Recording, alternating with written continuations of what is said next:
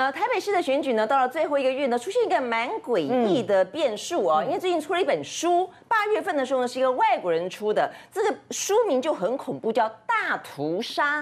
那屠杀讲的是什么呢？因为中间讲到有这个活体摘除器官，是不是形同一个大屠杀？那在讲讲这个事情的时候呢，书里面有整整十页。访问了柯文哲医师，好，那里面呢似乎有点指控了啊，就说这个柯文哲是不是涉及到了器官买卖？目前呢，这个柯文哲呢言辞否认啊，但是否认之余也很奇怪，因为呢这个作者呢他说我选后再帮你澄清，为什么呢？如果他写错了，依照柯文哲的说法，他绝对没有这样讲。为什么选后才要澄清呢？不过这也让我们开始产生好奇，就中国的器官移植现在到底是有多么的多么的令人匪夷所思，是蓬勃、蓬勃发展。我先请教一下，就是说台湾跟中国大陆，我们在器官移植上，我们先来讲器官移植有几个来源了哈。第一个就是死刑犯，对不对？台湾的处理是怎么处理？大陆又是怎么处理？呃。呃，台湾我先讲一下，台湾的处理其实呃不一定完全是来自于死刑犯，也可能是脑死的病病人，他愿意捐赠，愿意捐赠，呃遗遗留大爱，对对对。那呃我我们其实没有那么多的来源是来自于死刑犯，嗯啊，那我们比较多的来源是来自于呃医院里头的脑死病患，请他们家属愿意捐赠，嗯，那可是，在这样的情况底下，我们都会有个登录系统。对，好，然后就就让让大家知道说，哦，嗯，这这个心脏出去了，哪一个医院的哪个病人比较需要？哎，对，它有一个优先排次序排行榜，就是我们自己要去登记嘛。对，所以我们今天比如说我们需要，或者是家属需要，他可能需要心，对，需要肺，或者需要肝、肝啊、肾啊之类的哈。那他会看你的病情的严重性来排那个顺位。可是如果说像是嗯仰赖是捐赠的话。那数量肯定不够，真的。我们一直哦，就是台台湾器官移植协会一直在鼓励大家捐赠、捐赠、捐赠。可是台湾的捐赠风气其实并不是这么的盛行，所以台湾一呃呃在等待器官移植的，比如说有十个人，百分之呃呃八以上，百分之八十以上的人都一直在等。也就是说，真正能等到的，大概呃。一年大概不到不到四百例，加利，所以绝大多数的病人就是在等不到的情况之下就过世了，对不对？对，所以我觉得等的久，但是有些呢根本不用等，像大陆完全不用等。我看到有个例子啊，一个医师他一个礼拜呢可以开五十几台刀，然后呢拼命换肝，拼命换肝，拼命换肝。你看一个礼拜开，对，我看过最夸张的。那我我们就要问真的，然后就说为什么他的肝这么多？他的来源为什么做到都不用等呢？对，我所以我自己。对我自己的亲戚就是在台湾也也在等嘛，那他也那时候呃才五十多岁，那已经洗肾了，他已经肾脏剩下百分之十的功能，那必须洗仰赖洗肾，然后就等等着换肾啊，就后来嗯医生跟他讲说，你大概等十年吧，可能十年以后。对，就是肾脏的移植，有些人呃，如果好好，因为他们会认为你好好的洗肾，台湾洗肾的这个技术技术非常好，费用也很好，对对对，高到不得了。一年的洗肾病患健保给付他六十多万。那到大陆就换个肾，顶不顶不多是一一一百万台币，一百到三百万都有。哎，看你等多久。所以你看哦，等捐赠这么的困难，然后我们的死刑犯，因为我们现在执行枪决的也少嘛，哈。然后枪决还有两种状况，就在台湾的情况，就是有些人知道是死刑犯捐赠的，他不愿意接受哦。没错，其实就有一个最最最最让人觉得那个好玩的一个例子了，也不讲好玩，有点有点感慨啦，经典嗯。当年陈建新这个这个恶徒啊，那么被枪决之后，他实际是有签下这个器官的这个遗真真真的问题哦。那么在台大就有一个妇人，她正在等待肺的移植。嗯，结果呢，在这个当天晚上把陈建新给枪毙完之后，那么就极极快的把这个所谓的器官要移植过去。但是也不晓得怎么原因，这个妇人竟然知道说他的移植的东这个器官呢，是来自于陈建新。他说：“这个狼心狗肺，啊妈，这个杀人犯，这个狼心狗肺的东西，我宁可死也不要。”他拒绝了，他拒绝了。结果呢？拒绝了。这个妇人。果真呢，真的是就就这样子就往生了。他宁可不要这个死刑犯的可是我觉得有一个关键在于说，那他怎么可以知道是陈建新给他的？他其实不能知道的，他不能知道的。但但因为因为那天刚好呃宣布说那陈进兴那天要报纸新闻写很大，对。对，枪决陈进兴那一天，新闻一直跑，一直跑，没错。没错看新闻看得很仔细，而且去摘摘器官的时候，新闻也出来，没错，这样子，对，所以他送到哪个医院，什么都是前线的追踪嘛。哦，所以是因为新闻报道，就他知道了，没有错。好，那这是台湾的死刑犯的状况。我们一直听说大陆其实就某种程度拼命在执行死刑犯，也跟这个这个器官移植有关啊。其实真的假的？我真的吗？我我我我我举个例子，其实我们认识的有有好几个媒媒体界的朋友也是一样，他们就到大陆去换换肝，嗯，那么比如说换肝哈，换肝呢，好像换肝跟换肾最多最多。那我们讲举的是这个换肝这个案子，嗯，这个案例呢，基本上他已经等很久，他已经等于就是已经到我们讲就是肝已经到硬化到某一个程度，嗯，结果他就等哎不用到半年就过去了，你花了大概两三百万的台币，差不多，结果换好了回来之后。他以前是因为喝酒过多啊，所以就不能再喝了。换了肝之后，哎，身体还不错，半年之内是觉得身体不错了。结果他又又不小心又喝了，喝了之后不到三个月就走。哦，哎，可是刚刚嘉丽也讲，就是你的亲戚后来也是去大陆换肾吗？对，换肾这个多不多？其实非常多，在大陆某一个地方啊，它有有一栋大楼，全部都是华人哇，嗯，外籍华人，你知道，就是就是。盖的还蛮漂亮，跟他们其跟他们其他的这个医院里头每一栋建筑物都不一样，它那栋盖的特别漂亮。那那进住进去的人，当每一天都有呃住住院的费用。那么另外他也直接讲了，就是呃可三十万港币到五十万港币左右。嗯，然后差不多是一百二十万到一百五到一百五十。对对，但嗯这个在十十几年前，后来过去的时候呢，你呃他会跟你讲说，今天总共要枪击多少人。啊有啊，真的这样子啊？对，然后他也知道他拿到的是呃大陆死刑犯的的肾脏或肝脏，那所以那那一栋大楼是换器官大楼，对对，而且是而且是海外的，都海外过去的，来的不是新加坡的，呃那个菲律宾的，然后那个越南的、台湾的，都是都华华籍人士到大陆去的，这是国际器官移植中心啊，对，所以你想想看，像我们这种，你说。讲到呃比较豪华的大楼，然后有很好的设备或干嘛？我们做什么？我们是做整形，没有，还有健检，还有健检。他们是对我们做整形健检，他们是换器官。对。不话又说来，其实到大陆换器官，尤其是换肾，已经到边相当高的水平了。对。像我们我们台北市有一个某民意代表，大家其实也都认识。他后来大概是五六年前还是十几年前，他就换了换了肾，到新马瓦嘎起的嗯生龙活虎。大概七年前还是八年前，我知道他讲的那一位真的，我认识他。对。然后他也跟我讲了他去换肾的过程。对。然后他呢，不但是要准备一百多万的新台币，他还另外准备了一个很大的红包。红包。对。然后先塞给医生。那这样有两个目的，第一个当然就希望你刚好帮我开比较好一点嘛哈。第二个是排比较早的台。对，真的精神好一点，精神最好的对。所以他其实后来复原的状况非常好，他没有再回去要去做别的这个手术，他现在就一直很好。可是我不太了解，因为早期的时候，因为在大陆，嗯，不管是换器官或是做。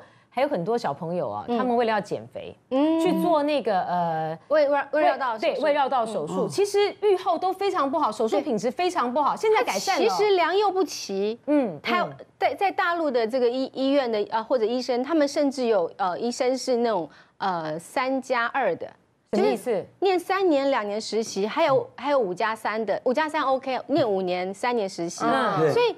所以大家都这样年两年实习，对，就来动刀啦。对，就是他们他们的平均水平是不够，所以你一定要到三甲医院，他才可能有一个比较好的医生，quality 比较好。所以他们的量，他们的那个那个医生程度其实是上下差很多。这就靠临床了嘛。对对对，那临床的话，意思就是病人就是实验体啦。没有，不过好，不过我们就认了。我们台湾人都知道说，大概哪几栋呃呃教学的三甲的医院是呃换肝换肾呃。器器官捐赠或者器官移植非常的活泼的，因为 你知道我的我我的亲戚去，就像呃那个凤欣讲的，我们那时候去跟呃有有军方背景的人稍微嗯。拜托打个招呼，对军方背景，嗯。再就是医医院的红包一定要给，还是要给。好，然后还有一些这个党党方面的，比如说去找一些某某一些代表啊过去帮忙再讲讲，对对，党政军都讲哎。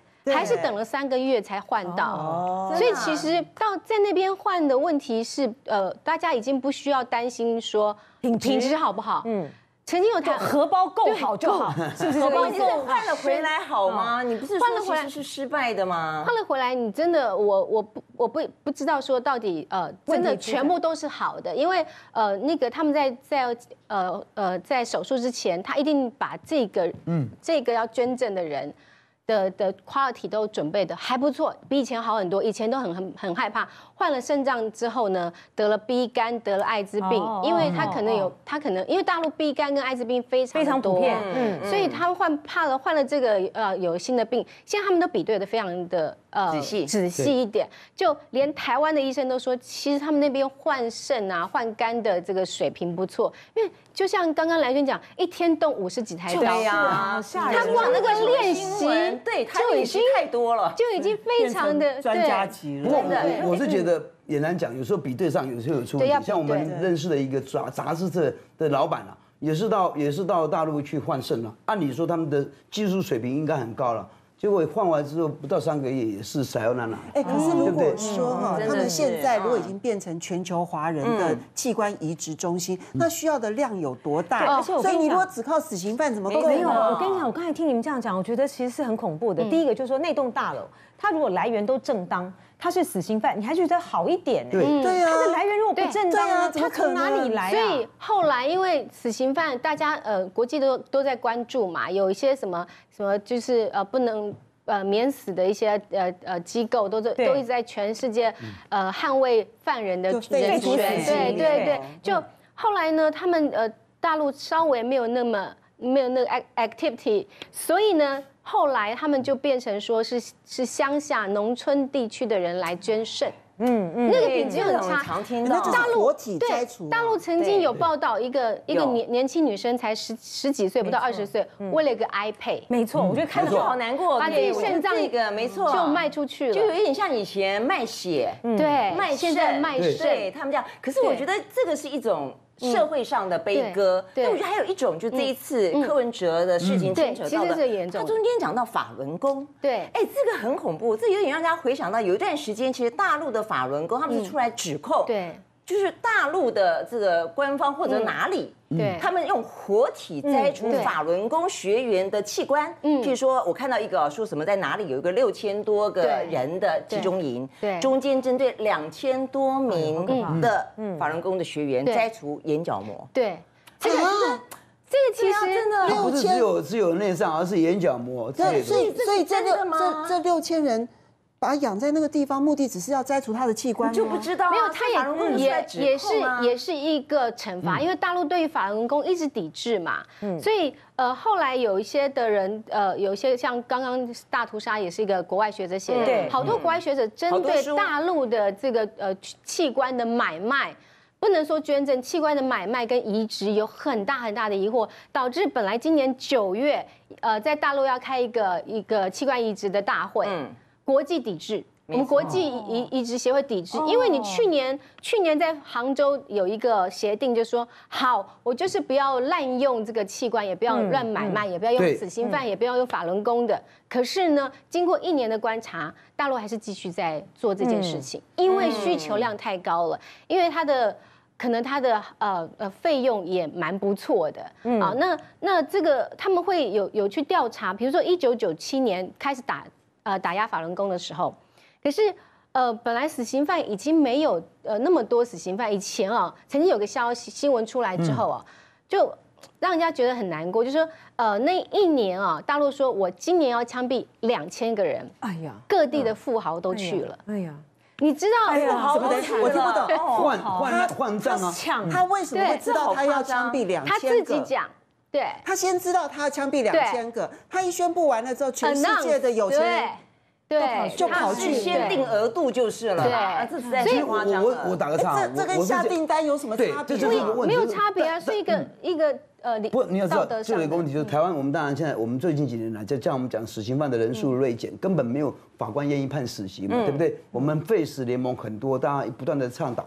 那在大陆不是啊，大陆他们的枪击人数，老实说两千个剩小小 case 啊。算少的了。就我们现在我们知道他们的犯罪，包括我们台湾，如果有人贩毒或什么，一抓到马上就枪毙。就枪毙。所以他们的所谓的死刑犯，就我们了解，两千个人就这在大陆人口这么多，省份这么大，两千个基本上就我了解，算是算是小小额的了。所以他这个两千可能讲的就是你说我们怎么可以下订单呢？其实不是，而是两千人可能是最近几年来的一个低标而已啊。嗯，所以这个这个听起来真的是非常的嗯毛骨悚然。对。可是呢，在这活体器官买卖这个部分，我觉得是更骇人听闻。没错。你说除了小朋友他们自己一时之间这个价值观判断太误差了哈。对。为了一个 iPad 对去卖肝好卖肾，但是。哎，大陆他们自己的新闻报道啊，有人这样子进了医院之后回来之后，我到后来才知道说我少了一个器官，那是游民，不，你莫名游民啊，有有一些还不是游民呢，莫名其妙他就住进医院，他就发现哎，我这边怎么有一个刀？这跟我的那个病没关联啊，怎么这边来了把大刀？器官不见了，这太离谱了。在在大陆啊，其实我们讲，我们以我们的。的这样的一个水平去看，我们说怎么可能有这种状况？但是你要知道，大陆的贫富悬殊之大，很大，所以整个乡下上来真的没有钱的时候，像我们以前过去那种年代里面，也有人被卖卖血，对不对？卖卖血来去赚钱或什么之类。大陆其实也有这种状况，他会跟你讲，两两个两个肾脏塞一个不会怎么样。没错，所以我是我是认为是有这种这种所谓的市场的需求，才会有这样的供应者嘛。所以他大陆的。贫富悬殊这么大的时候，来自于乡下人，他们有一些也是常识不懂的，他可能就会这样。所以曹鑫，你说大陆有很多的管道都可以下了订单之后，他想尽办法去给你找货，没错。哎，器官变成一个像商品一样，对不对？而且还依照这个供需之间，然后呢，呃，看起来如果说需要的人多，他突然之间就哄抬的非常的。你刚才提到一个很重要的问题，就是既然有人就提到说法轮功这些所谓的法轮功者，他们的器官比较健康。哇，这个就说法就很糟糕了。这是因为你要那本书里头，对，就那本书里头说柯文哲这样讲。那就是说，每我们从其他的网站或者什么也提到这个消息，说网网龙功的这些练气功者，因为他们的肾脏比较好，他们的器官比较好，所以摘除他们的活体这样的来讲，对气对比较有功劳。这个就是匪夷所思。可以这样的讲一个人的器官对，你们刚才提到谈的这些东西里面，我觉得有一个疑点，就是说。台湾的有这些需求的民众，他们都知道大陆哪一些的医疗院所，你说三甲医院嘛，啊，做得好，对不起，而且呢，台湾的这边的医生呢，还觉得说他们现在技术进步了，对，这里面有没有中介的行为啊？这个病人怎么会知道他该找哪个医院呢？所以柯文哲这次的问题也出在这里，有没有中介或介绍的行为发生呢？这段广告我们再回来讨论。